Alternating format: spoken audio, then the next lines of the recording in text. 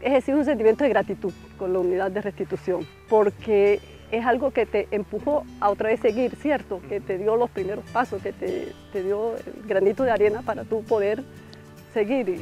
Es más, la gente de la restitución, todos son queridos, amables, han sido un apoyo inmejorable. La restitución de tierras es un hecho. Unidad de Restitución de Tierras, Gobierno de Colombia.